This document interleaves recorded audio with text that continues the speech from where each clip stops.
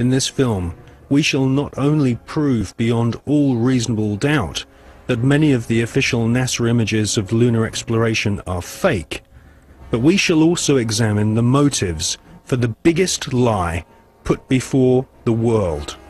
Why did NASA repeatedly fake lunar images and photographs?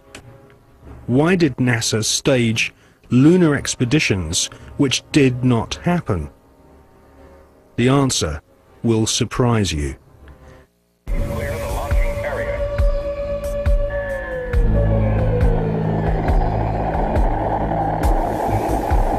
NASA spent gigantic sums of money during the 1960s, but most of it was spent on the ground, not in space. Huge American corporations, many of which were manufacturing hardware for the military, made gigantic profits designing space vehicles and, more importantly, life-sized models of spaceships and even huge stage sets resembling the lunar surface. Someone in NASA had realized that after taking billions of dollars from the American people, if they couldn't make it to the moon, they would fake it to the moon. Obviously, if you're going to somewhere that nobody has been before, you need to have a simulator which recreates that environment as closely as you can.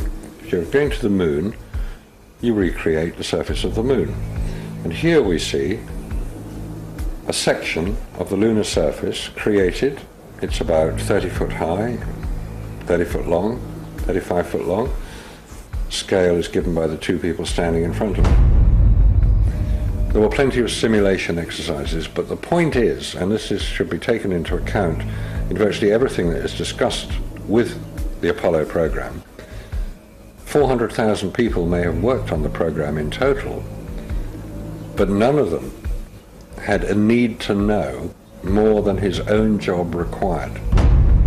The people who were making the rockets didn't know what the people who were making the spacesuits were doing because they had no need to know about that. Their job was to make the best models and the best uh, simulation of the lunar surface that they could. And if we come up to this picture here, we see the three scales on which these models were built. We have here the whole moon as one unit. It stands about 20 foot high. We have here behind it section of the surface of the moon. You'll notice it's curved. And here we have a more detailed section of the lunar surface. What you're saying is that the images which we're told show a camera pointing out the window of the lunar module as it's coming into land on the moon could well have been filmed previously using these large scale models. That's right. It could well be that what we are looking at are films of realistic models.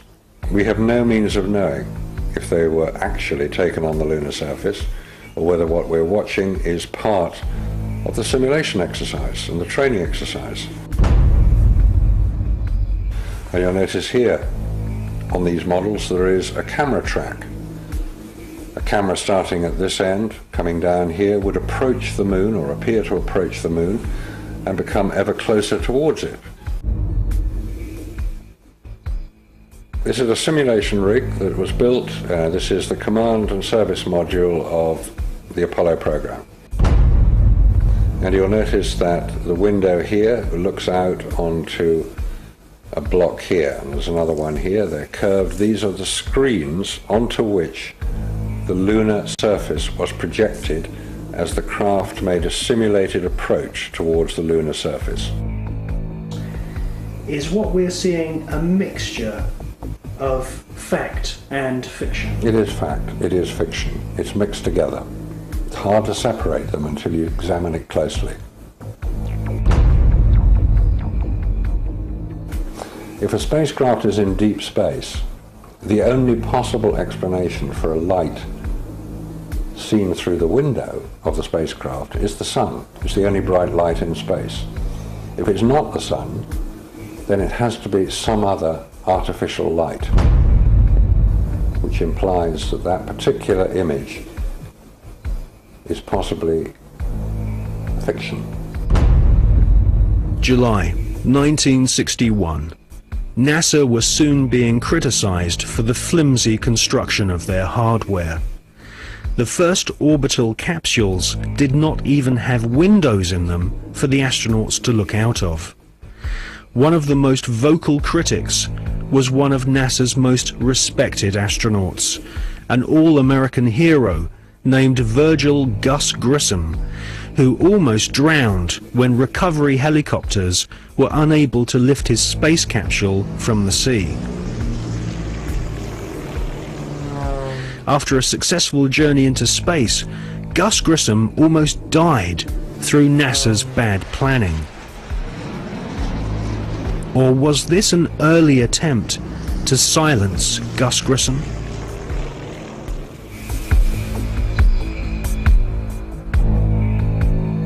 May 1963. Astronaut Gordon Cooper experiences re-entry problems in his Faith 7 rocket ship. The prototype lunar module, known as the LEM, had serious stability problems.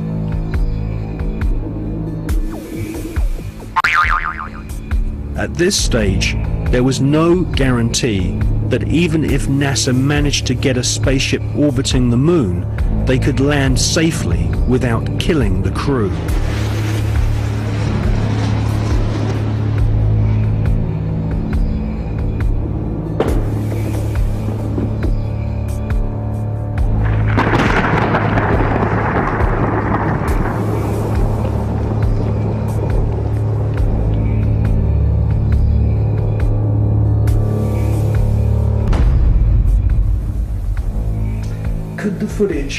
Which we see of the LEM approaching the moon be filmed in a TV studio? It was filmed in a TV studio. There's absolutely no doubts whatsoever about that. And the way that this film was created was by the use of models. There's nothing secret about the models. They exist. You can go and see them today. The models were very lifelike, very realistic. There is one that is a life-size model. It's in Flagstaff in Arizona. It's two miles long, and it's an exact replica of the Sea of Tranquility. The photographs were used to create from those images the replica of the Sea of Tranquility, so that if it was flown over in a helicopter, it would appear as if it was a spacecraft approaching a similar area to land. So yes, all the scenes of the lunar surface were filmed on Earth.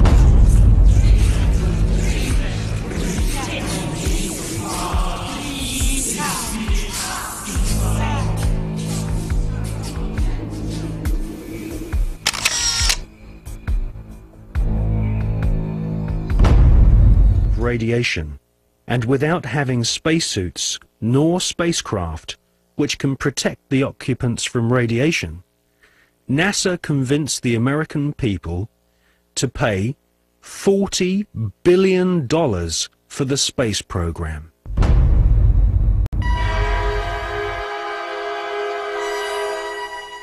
The most lethal forms of radiation, of course, are at the higher end of the spectrum. That's gamma rays and X-rays. Uh, we know what ultraviolet can do. If you stay out too long in the sun, you get sunburn and skin cancer and die, and it's all very sad. But gamma rays, and X-rays especially, are particularly lethal to humans, unprotected humans. There was no protection that I have been able to identify. I've been found no reference to it. I found nothing that will tell me what level of protection is offered. So I have to assume none was. I've contacted the manufacturers of the spacesuits and they said there was no radiation protection built into the spacesuits. Because I asked them if these same spacesuits could be used by technicians to go into Chernobyl or Three Mile Island, because the nuclear reactors produce the same radiation as produced in space. They said no, not advisable, no protection.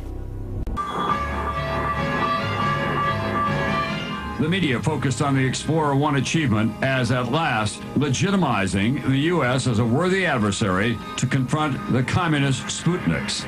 The public seemed captivated with the propaganda created by this new space race. Dr. Van Allen and his students, however, chose to focus on the data that was returning from their scientific instrument inside Explorer 1. When the first results came back, the, the group at the University of Iowa, this was uh, Van Allen and Ernie Ray then began to help with it, eventually Carl McIlwain. Uh, saw immediately that there was an anomaly, there was something unexpected. Uh, by the way, there's a small problem with going to the moon, and inch by inch, NASA is leaking out that they know that there's a problem there. It's called the Van Allen belts, high radiation belts of charged particles around Earth, and we don't know how to get through them, they say. Well, isn't that interesting? Because there sure didn't seem to be a problem back in 1969. Obviously, they didn't go to the moon.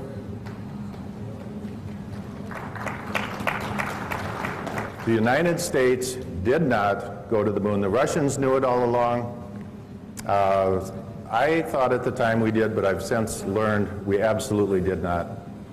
And there's no question about it. And they're starting to figure it out. NASA has a program called Living with a Star.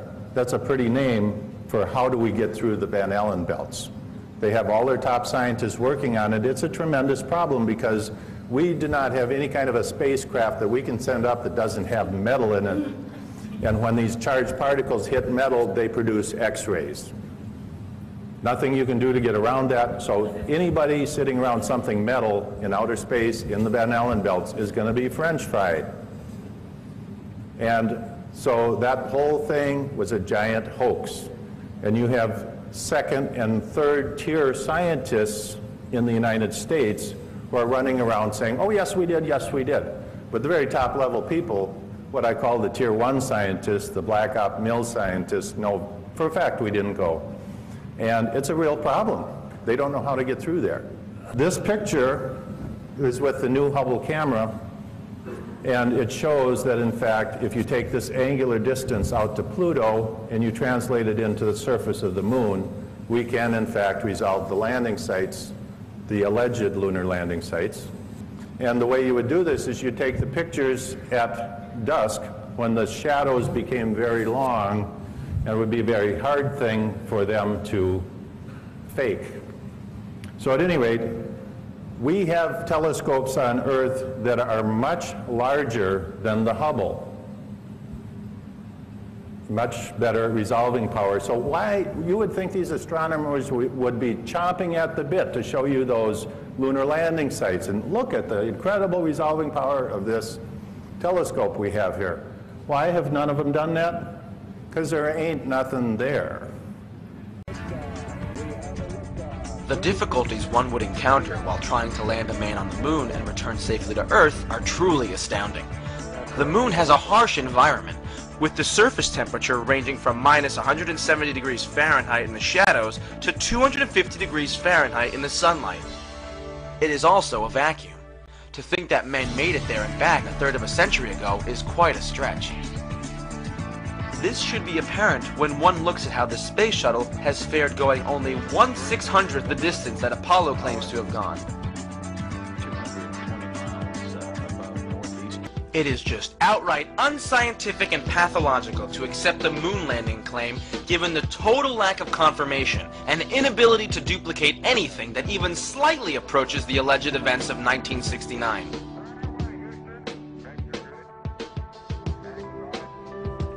Of course, by far the greatest mystery in all this is why the scientific community continues to fall for all this and accept it unquestioningly. Is science just another religion that has its sacred cows? If you want to stay in the club, must you defend the beloved cow no matter how badly it stinks? Since nearly all of academia is dependent on funding from the federal government, any scientist brave enough to speak the truth would be committing career suicide. Scientists realize this, and therefore will not let their minds examine this objectively for even a moment. They all just prefer to run with the herd. As victims of cognitive dissonance, so-called scientists argue in support of the moon landings out of reflex. If one examines a timeline of aviation and space travel milestones, this contradiction of logic becomes apparent. Consider Kitty Hawk in 1903, Lindbergh crossing the Atlantic in 1927, Sputnik in 1957, through the space shuttle in the latter part of the 20th century. These were all within 400 miles of Earth. Yet the alleged moon landings of the late 60s purportedly took astronauts 240,000 miles away from the Earth. The Apollo missions, therefore, stick out as a fantastic statistical anomaly, and without any other similar events to confirm or duplicate the hypothesized event, one third of a century since, the scientific method requires that they be discarded. This being the case, no one that believes the moon landing claims should be allowed to call themselves a scientist. The Cold War provided the perfect motivation for the deception. Under the specter of a nuclear threat from the Soviets, and in the shadow of the Bay of Pigs invasion, it is easy to imagine those involved believing that it was their patriotic duty to help bluff the Soviets into thinking we had military superiority. It apparently worked. A nuclear war was never fought, so we are certainly in no position to second-guess the military strategy that the government employed. With the space race officially ending with this achievement, Nixon was quick to seize the spotlight by becoming the first U.S. president to visit Moscow. Cooperation for joint space missions quickly became the topic of discussion between the leaders, ushering in détente, an easing of tensions between the two superpowers. Uh, as you're probably well aware, we are still working on other programs, Skylab being the prime effort starting in the spring of, the, of uh, next year. Uh, we're also working on the uh, cooperative mission with the Russians, which will take place in 1975. And of course, we've got quite a few of uh, the flight control team as well as other center elements involved in the work on the shuttle. So it's, it's the start of a new era, I hope. It is easy to see why the government would want to perpetuate such a myth, even after the military objectives were achieved. The alleged accomplishment is a source of national pride, and no one wants to be the one to remove this source of pride. It would also not come as a surprise to find out that in upper levels of certain agencies, the moon landing hoax is actually somewhat of an inside joke, in that within these institutions, those that have attained a certain level are entrusted with this secret information.